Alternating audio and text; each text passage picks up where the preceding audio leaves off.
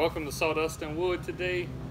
Today I'm going to teach you how to cut a stair stringer, how to take a measurement and cut it and lay it out with the framing square.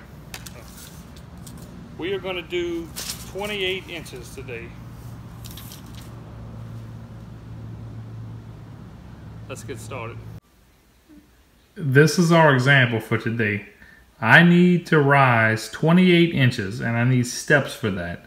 So the math is 28 inches divided by 7 because between 7 to 8 inches is normally code for the rise for steps. So 28 divided by 7 equals 4 steps. Then you take 28 and you divide it by the 4 steps. And that gives me 7. So I need 4 steps that rise 7 inches and the run is normally 10 inches on steps. And I have it drawn out here so we can look at it. And I even have the kicker shown at the bottom that you're going to see later on in the video. It's a 2x4 kicker. So 7 inches of rise and 10 inches of run. So I'm going to set the blade of my framing square to 10 on the edge of the board and the tongue to 7 10 being the run and 7 being the rise. So I'm going to trace that. Then I'm going to extend my square on the line of the 10 and trace it through. That's going to represent the floor, where the stairs are going to meet the floor. Then I'm going to go 10 and 7 again and trace that. And that is going to be our second step. I'm going to go 10 and 7 again. I'm going to line 10 up with the line and 7 over here on the edge of the board. And trace that. And I'm going to write 3 for our third step. I'm going to line 10 and 7 up again. I'm going to trace that.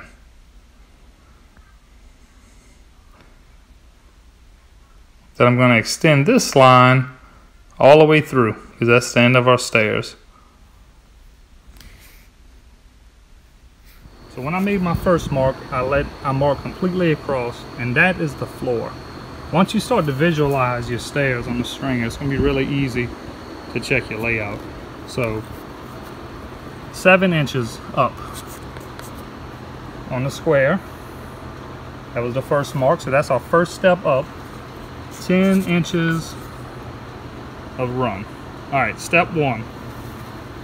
Here's step two. Seven inches up, 10 inches over.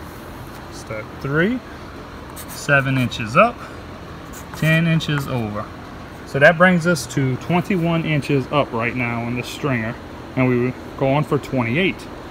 Now most steps, you don't cut that last stringer because your step, your top step on the string would be right at the top of whatever you were building up to 28 inches. So I'm going to stop my step right here at 21 and then the next step will be on the top of the platform that you'd be going up to. And this is exactly what I mean. My last step would end there and there would be another seven inch rise and that would put us perfect on the top of the deck that we were building up to So 7, 14, 21, and we're going to cut it across. Now I'm going to cut this out, then I'm going to show you what I'm talking about.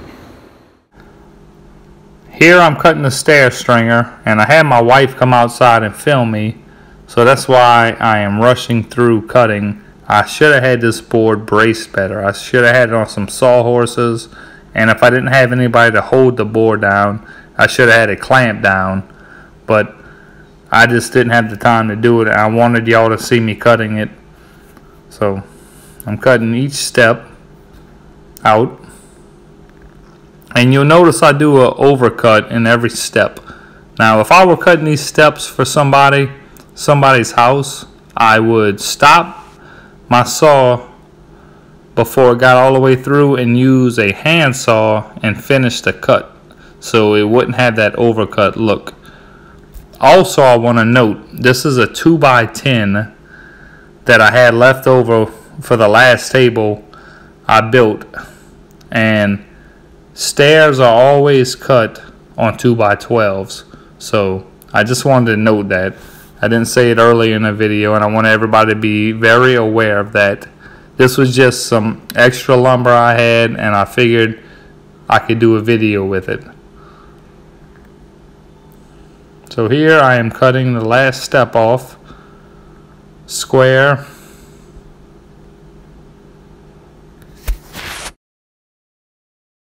Here's my stair stringer I have cut and it's 7 inches of rise and 10 inches of run.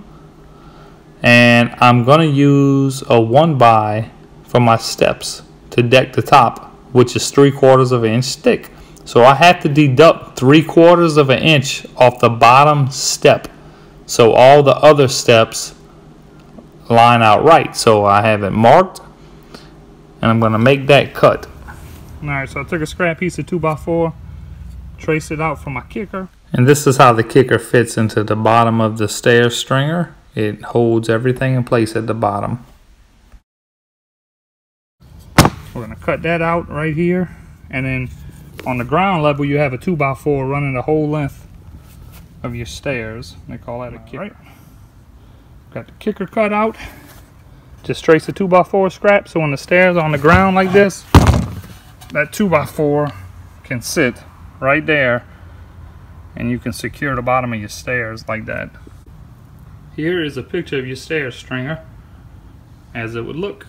7, 14, 21, and then whatever level you were going to, the top of the deck or something would be right here. And this is what I mean. This is exactly how it would look when you nailed it up. It would be one step short and everything would line up perfectly once it was put up. That's all there is to it. Please comment any questions below. Thanks for watching. Now this is just an example. So let's say we had 27 inches total height. Would be 27 divided by 7 would equal 3.85. We'd round up to 4 steps. 27 divided by 4 steps would equal 6.75, which is 6 and 3 quarters of an inch. So we'd have 4 steps at 6 and 3 quarters rise and 10 inch run.